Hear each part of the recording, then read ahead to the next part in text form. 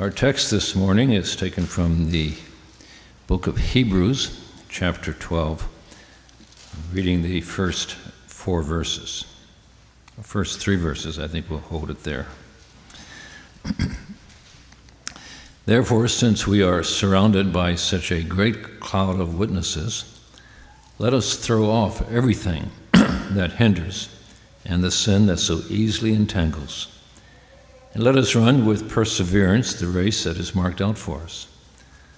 Let us fix our eyes on Jesus, the author and the perfecter of our faith, who for the joy set before him endured the cross, scorning its shame and sat down at the right hand of the throne of God. Consider him who endured such opposition from sinful men, so that you will not grow weary and lose heart. Let us pray. Father, we uh, ask you now to take these words that were penned through the guidance of your Holy Spirit and help us to apply them to our situation wherever we are at. And may we give you the honor and the glory for being such a loving God that you are. And so we commit this service to you, Father. In Jesus' name, amen. You notice that the uh, title of the sermon is Grit. Grit has a lot of meanings, but we're making the application to this passage this morning. When I uh, left my church in Bolton, as you know from my telling you before, they used to have a tennis tournament every year, and uh, they called me up and invited me back to be in the tennis tournament because um, I had just left. And uh, any rate, uh, I got in that tennis tournament and came down to the semifinals, and the lady that called me, she had her own tennis court, and uh, she says, it's really very important that you win this next, next match. She says, this guy that you're playing is very obnoxious. and she says, we would like to see him uh, be humbled. well, uh, now that put a lot of pressure on me because I really appreciated her and all the years that she let me use her court. Uh, at any rate, uh, that was probably the hardest match that I've ever played in my life. He brought his seven year old daughter, who kept on running around the court, especially on his side, so I'd be distracted. And, and, uh, and it was a grueling match, absolutely grueling. But I kept on remembering what uh, her name was Bonnie, what she had said. And, uh, and finally, uh, the, the, game was over, and I had barely won and I went back to my car, and my whole body went into a spasm. I've never had that happen before. It was that, that grueling. Uh, any rate, uh, Bonnie said to me afterwards, she says, You have a lot of grit. and at the time, I thought that was uh, an insult. and, uh, but uh, now, uh, after preparing this sermon, I think I know what she, what she means. Sometimes when we become Christians, when we come to know Jesus personally, when we are born again, if you will, saved, sometimes people get the idea that that's the end result of their spiritual journey. That, as you well know, couldn't be further from the truth. The reality is, is that coming to know Jesus as our Savior is only the beginning of a lifelong race of faith. And that race of faith, as was brought out in our men's breakfast yesterday morning, is different for everyone. Uh, some races have more obstacles to overcome. When I uh, went to high school and uh, was playing football uh, or practicing uh, that first year, the coach would make me run extra laps. He'd find anything to have me do more push ups, And I really felt like he was being terribly unfair. And finally, I got the courage one day to confront him. and I said to him, as a coach, I said, You know, I don't know what I've done to cause you to take it out on me, but I said, I really believe you're being unfair. And uh, he looked at me and he said, Dave, when I stop paying attention to you, that's when you need to start to worry. And, and I've always remembered that. And uh, sometimes in life, uh, we get discouraged. We think, God, why are you picking on me? and then as we read further in the book of uh, Hebrews, uh, it talks about how God disciplines those that he loves. And the purpose of that discipline is to make us more holy uh, and to be more like Christ. There are many spiritual miles that uh, we must travel before this race of faith is over. In my freshman year in high school, we had what was called a decathlon. Uh, this was a 10 event track and field contest. And uh, in my freshman class, there were two of us who were favored to win that event, and that was a fellow by the name of Dick Nelson.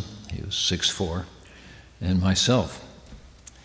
He was a star basketball player, he was a star football player. And there were three races in this decathlon a 100 yard dash, a 220 yard dash, and a quarter of a mile race. And there were three jumping events the high jump, the long jump, the pole vault. And then, last but not least, the 10th event and the final event was a 220 yard high hurdles race.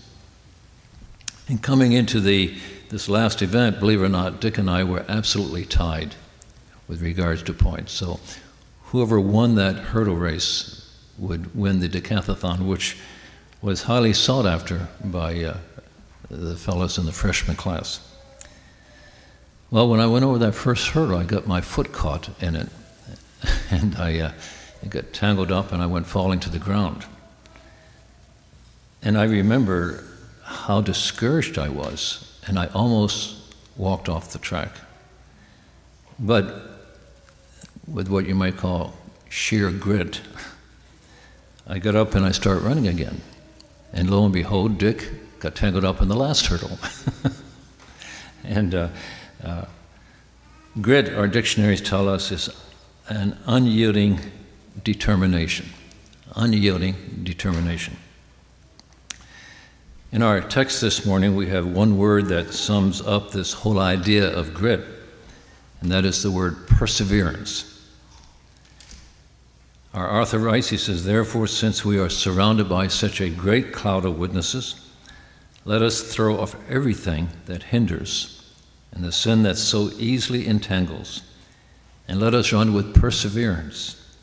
That is, let us run with grit the race that is marked out for us. And as I said, that race is different for each one of us. Perseverance, our dictionaries tell us, is an activity maintained in spite of difficulties. As one professor puts it, the person who scored well on an SAT will not necessarily be the best doctor or the best lawyer or the best businessman. These tests do not measure perseverance. These tests do not measure grit. Uh, Charles Spurgeon, Spurgeon, that famous preacher, he once said that it was by perseverance that the snail reached the ark.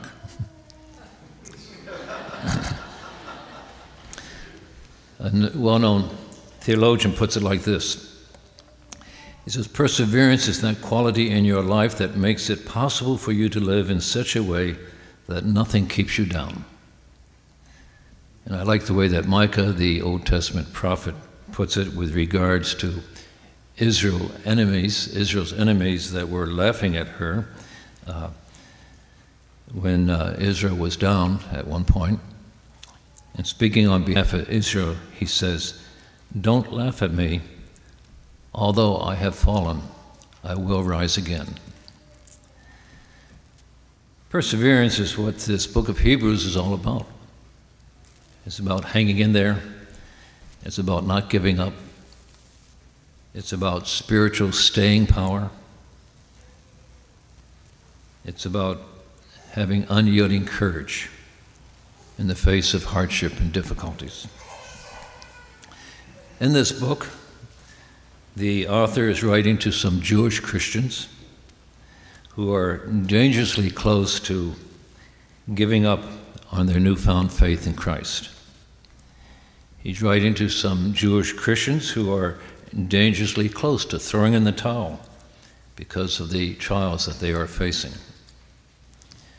And so in the 10th chapter, he says to them, Remember those earlier days after you had received the light, when you stood your ground in a great contest in the face of sufferings? Sometimes you were publicly exposed to insult and persecution. At other times, you stood side by side with those who were so treated. You sympathized with those in prison and joyfully accepted the confiscation of your property because you knew that yourselves had better and lasting possessions. So do not throw away your confidence, it will be richly rewarded. You need to persevere so that when you have done the will of God, you will receive what He has promised. Now, immediately after telling these Jewish Christians that they need to persevere, that is, they need to have grit, this author then goes on in the next chapter, that famous chapter of Hebrews 11. And he gives them this impressive list of believers who couldn't be kept down. Uh, believers who, in spite of their hardships, maintained their confidence in God. Believers who, in spite of getting their foot caught in that hurdle, if you will, they get up and they kept running. Believers who kept running towards the goal, as the Apostle Paul would later put it. Believers who got up and kept running in order to win the prize for which God had called them heavenward.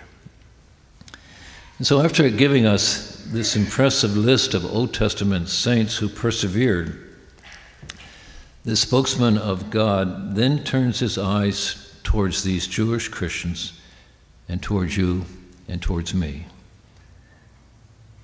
And he says to us in the first verse of chapter 12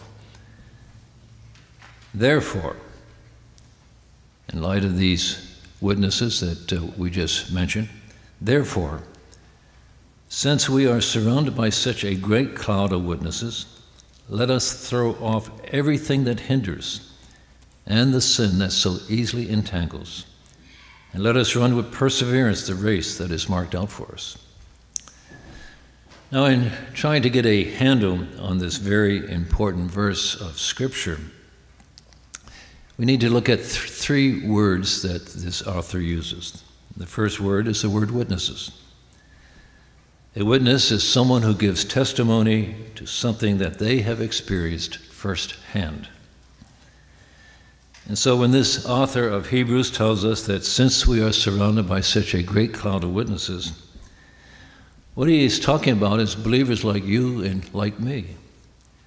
Believers who, through grit, through perseverance, finished the race of faith, and who are now able to give testimony to the fact that there is a way to live the Christian life triumphantly since we are surrounded by such a great cloud of witnesses, we should therefore run with perseverance the race that is marked out for us.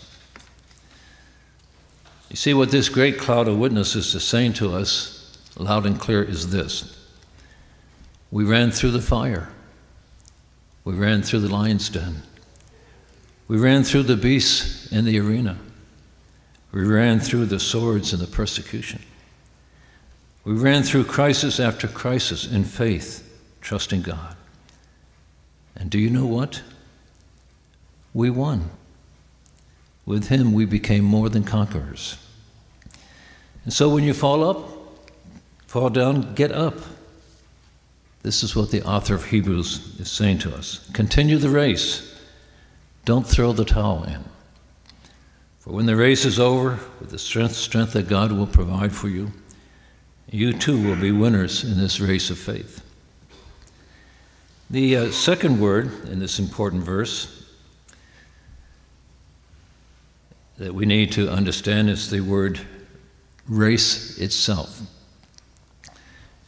As a Christian, as I mentioned earlier, you are called to run a race of faith. And the Greek word that the author uses here for race is the word agon, the word from which we get our word agony.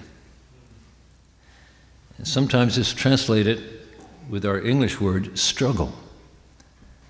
The Christian life, our author is telling us, is a struggle.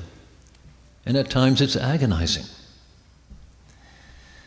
Now, the point that we're trying to make here is that the Greek word for race is not talking about a 100 yard dash. It's not even talking about a quarter mile race. But what it's talking about is a marathon, a race of several miles. A marathon, according to our dictionaries, is an endurance contest. That is, it's a race that is characterized by great strength and great perseverance. It's a race that is run on sheer grit. Let us run with perseverance the race that is marked out for us. This author says. That is, let us run with a faith that is tough, with a faith that won't shrink, with a faith that will not allow us to stay down. Let us run with a, a faith that causes us to get up again and to start running again. The third word or phrase that we need to understand the meaning of here in this first verse is the phrase, let us throw off everything that hinders. The one thing that I learned when I used to run the 440 was the importance of running light. Because my uncle was in the shoe business and had a shoe store, I was able to get a pair of track shoes that were made of kangaroo skin, the lightest leather known to man at this time. In our Christian life, the same principle also holds true. Unfortunately, as Christians, there are many things that Satan uses to weigh us down. And the most popular one is guilt. This is why in the book of Revelation he is called the accuser of our brothers, who accuses them day and night. When does he accuse? Day and night, when you're awake in the middle of the night when you get up in the morning, when you go through the day.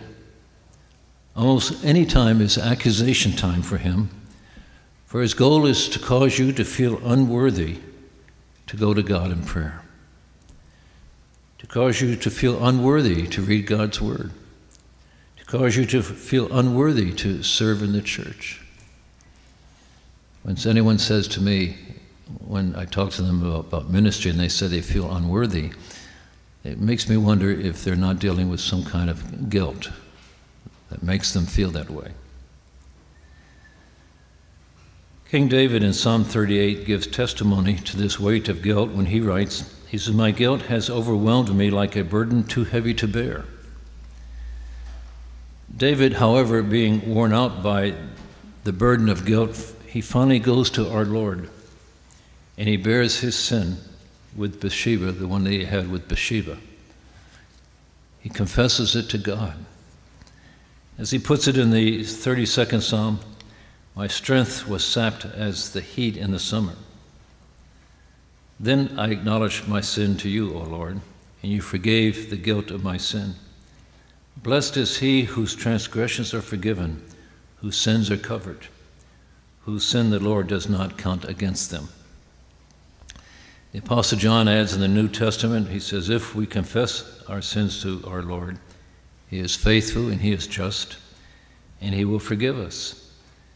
That is, he will unburden us, he will take away that weight of guilt. Still, others of us are weighed down by worry and anxiety. Because God doesn't want us to be weighed down by anxiety and worry, He says to us through the pen of the Apostle Paul The Lord is near. So do not be anxious about anything, but in everything by prayer and petition with thanksgiving, present your request to God, and the peace of God, which transcends all of human understanding, will guard your hearts and your minds in Christ Jesus. And still others are weighed down by some kind of fear. And yet, with regards to any fear that we might have, John in his epistle, he tells us that there is no fear in love, for perfect love, that is our Lord Jesus Christ, drives out all fear. The author of Hebrews says to us, Unburden yourself of un- any unnecessary weight. Get rid of it. Throw off everything that hinders. And the way to do this, of course, is by giving it to someone else, and that someone else is to God, to Jesus Himself, as God's Word tells us. Our Lord says, Come unto me, all you are weary and burdened, and I will give you rest. Peter tells us in his epistle, Cast all of your anxiety on Jesus because he cares for you. And the psalmist writes, Cast your cares on the Lord, and he will sustain you. He will never let you fall. Unload yourselves, the author of Hebrews is saying. Throw off everything that hinders, bring them to Jesus. And then he adds, and the sin that so easily entangles. For years, when I came across these words and the sin that so easily entangles, I, I, I would ask myself, what is that sin? It's in a singular, it's not a plural. It's talking about some specific sin. And I, I think I know what it is now. For I've seen Satan use it over and over again in the lives of believers. He uses it and uses it in order to keep them from getting up from finishing the race of faith when they have fallen. Is it not doubt? Is that not the sin that entangles? The dictionary defines doubt as a feeling of uncertainty about the truth. Isn't this the sin that entangles? A feeling of uncertainty about God's Word? Isn't this the sin that so effectively entangled Adam and Eve in the Garden of Eden? Did they not doubt God's word to them, thus bringing about their fall? And is not doubt the opposite of faith? Without faith, the author of Hebrews says to us, it is impossible to please God. Or as the Apostle Paul puts it, the only thing that counts with God is your expressing your life through faith. Now, isn't this the one sin that Satan would like you to commit? To doubt God, to call into question His word, His will? To be uncertainty as to the validity of your prayers, of His promises? You see, every time you commit this sin, this means that, like Adam and Eve, you have chosen to believe Satan rather than God. Is this not the one sin that so easily entangles, that so easily trips us up? Earlier in his epistle, this author of Hebrews writes, he says, Anyone who comes to God must believe that he exists and helps those who earnestly seek him. Must believe that he exists. So, what God's word is saying to you and to me this morning is junk your excess weight, junk your guilt, junk your fears Junk your anxieties.